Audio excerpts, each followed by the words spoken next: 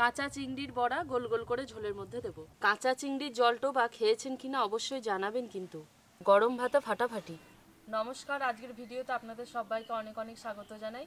চিংড়ি দিয়ে তো বিভিন্ন রকমের রেসিপি হয়, ঝাল, ঝোল, মালাইকারি, তবে আজকে আমি বানাবো চিংড়ির একদম ভিন্ন স্বাদের একটা রেসিপি তার জন্য এরকম সাইজের আমি চিংড়ি নিয়ে নিয়েছি।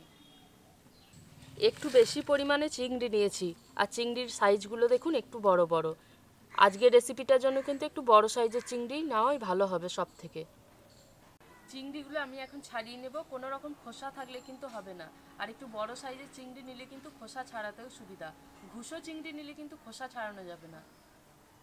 মাথার খোসা ছাড়িয়ে মাথার দিকটা বাদ দিয়ে দেব। কোনো রকম খোসায় কিন্তু থাকবে না। চিংড়ি মাছের মাথা খোসা আর লেজা সব বাদ দিয়ে দিয়েছি। এবার পিঠের কাছে একটা সরু কালো সুতোর মতো থাকে, এটাকেও বাদ দিয়ে দেবো। এই যে এটাকে বের করে দেব। এই দেখুন। এইভাবে আমি সমস্ত চিংড়িগুলো ছাড়িয়ে নেব। একটুও কিন্তু খোসা রাখলে হবে না। চিংড়িগুলো সব ছাড়িয়ে নিয়েছি, এবার ভালো করে ধুয়ে নিয়ে আসব। জিরে আর শুকনো লঙ্কা নিয়েছি, একসাথে বেটে নেব।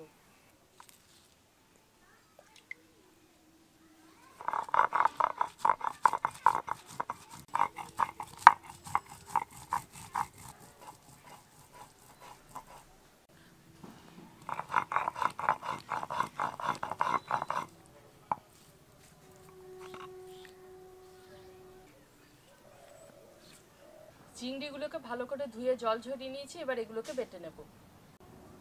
অল্প অল্প করে চিংড়ি দিয়ে বেটে নেব।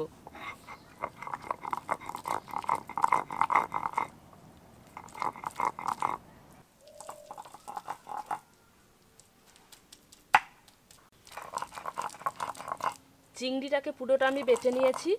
এবার এই বাটা চিংড়ির মধ্যেই একটা সেদ্ধ আলু নিয়েছি, এই আলুটাকে একই সাথে বেটে নেব।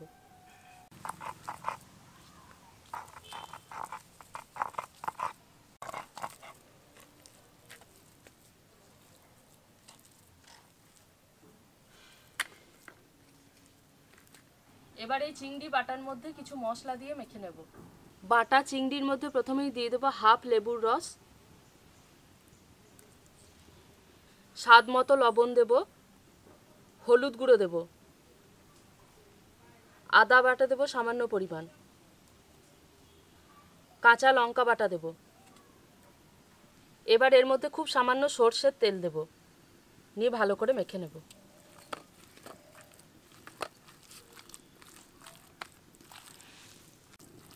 খুব ভালোভাবে চেপে চেপে মাখবো, তাতে করে সমস্ত মশলা ভালোভাবে মিশবে।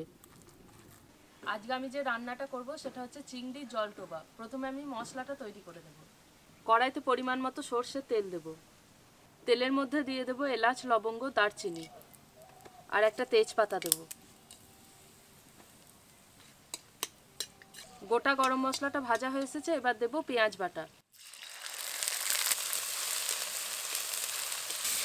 পেঁয়াজ বাটাটা একটু ভাজা হয়ে এসেছে, এবার এর মধ্যে দিয়ে দেবো আদা বাটা। জিরে আর শুকনো লঙ্কা বাটা দিয়ে দেবো।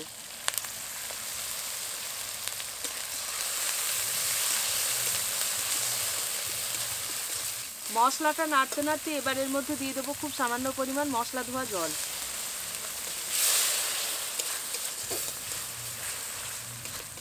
এবার এর মধ্যে দিয়ে দেবো স্বাদ মতো লবণ, হলুদ গুঁড়ো দেবো।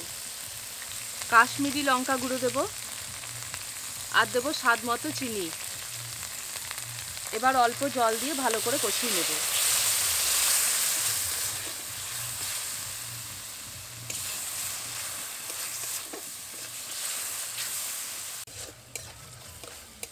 মশলা থেকে তেল ছাড়া পর্যন্ত এরকম লাল লাল করে কষিয়ে নেব। মশলাটাকে খুব ভালো করে কষিয়ে নিয়েছি, খুব ভালোভাবে তেল ছেড়ে গেছে। এবার এর মধ্যে জল দিয়ে দেব, তাতে করে মশলার তাপটা কমে যাবে। এবার এর মধ্যে দেড় কাপ মতো নারকেলের দুধ দিয়ে দেব। আরও কিছুটা জল এইটা ধুয়েই দিয়ে দেব। এবার খুব ভালোভাবে ঝোলটাকে ফুটতে দেবো। ঝোলটা খুব ভালোভাবে ফুটে উঠলেই কাঁচা চিংড়ি মাখাটা গোল গোল করে ঝোলের মধ্যে দিয়ে দেব। হাতটা জল হাত করে নিয়েছি, তাতে করে কিন্তু বড়াগুলো হাতের মধ্যে আর চটচটে হয়ে লাগবে না, আর সুন্দরভাবে কিন্তু গোল গোলও হয়ে যাবে। ঝোলটা ফুটে গেছে, এবার এই বড়াগুলো দিয়ে দেবো।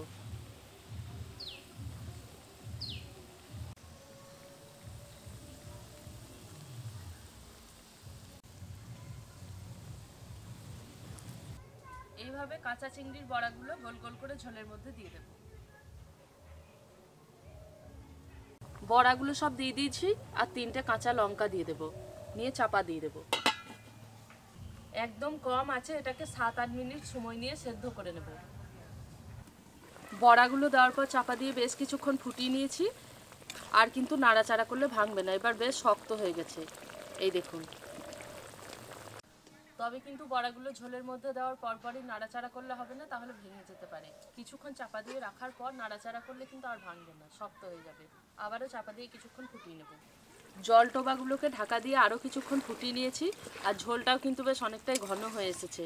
আর কিন্তু খুব বেশি শুকনো করব না, এবার এটাকে নামিয়ে নেব। আর জল টোবাগুলো ফুটিয়ে নেওয়ার পর কিন্তু আর কোনো কিছুই দেওয়া যাবে না। তাহলে কিন্তু চিংড়ির যে স্বাদ আছে মশলার স্বাদ আছে সেগুলো নষ্ট হয়ে যাবে আর খেতে ভালো লাগবে না। শেষে আর কোনো কিছুই দেওয়া যাবে না। কাঁচা চিংড়ির জল টোবা খেয়েছেন কিনা অবশ্যই জানাবেন কিন্তু।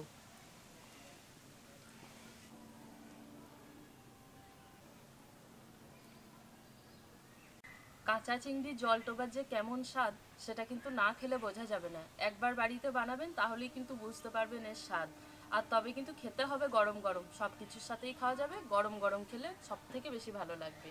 আজকে এখানেই শেষ করছি, দেখা হচ্ছে পরের ভিডিওতে নতুন রেসিপির সাথে। সবাই খুব ভালো থাকবেন, সুস্থ থাকবেন।